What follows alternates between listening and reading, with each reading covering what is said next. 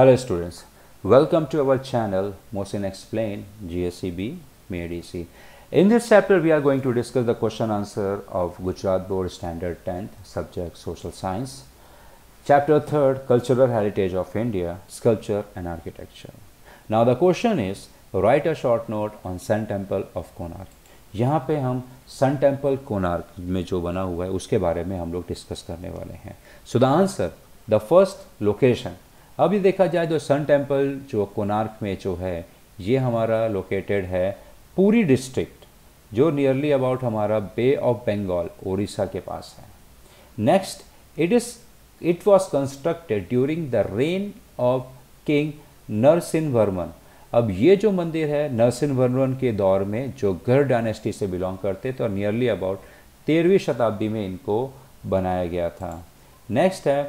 it depict the chariot of sun god drawn by seven horse अब यहाँ पे आप जाएँगे तो यहाँ पे आपको एक रथ मंदिर मिलेगा, जो ऐसा माना जाता है कि उस घोड़े को जो सूर्य देवता है, वो चला रहे थे और इनके रथ के आगे सात घोड़े हैं। And it has twelve massive wheel और इनके तकरीबन बारह बहुत बड़े बड़े मैसिव व्हील हैं, जो रिप्रेजेंट करते हैं twelve months in a year जो साल में बारह महीने को रिप्रेजेंट करते हैं। Each wheel has eight spoke which present eight pahar of the day अब हर पहिए में तकरीबन एट स्पोक हैं, जो प्रेजेंट करते हैं कि दिन में जैसे हमारे आठ प्रहर होते हैं, जैसे सुबह, फिर उसके बाद दोपहर, फिर शाम होती है तो उसको तीसरा पैर कहते हैं, फिर जब अंधेरा होने वाला उसको चौथा पैर इस तरह से पहर है। Now the massive wheel provide beauty to the pedestal of the temple अब ये जो व्हील बहुत बड़े बड़े एक तरीके से ये इस मंदिर की खूबसूरती और जो सीढ़ियाँ हैं, उनकी और खूबसूरती बढ़ाते हैं। Number four the detail of motif and diversity of subject of this temple are unparalleled अब इस मंदिर की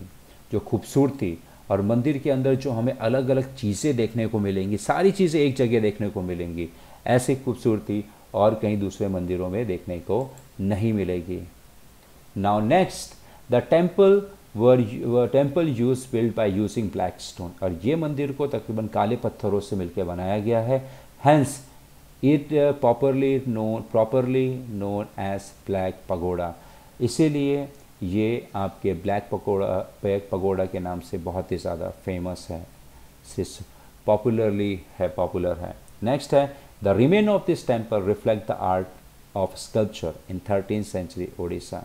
अब इस टेंपल के जो रिमेन यानी जो आसपास के और भी दूसरी जो चीज़ें हैं, ये तेरहवीं शताब्दी की कलाकृतियों के बारे में बताते हैं कि जो कितने ज़्यादा समृद्ध और अच्छे तरीके से वो लोग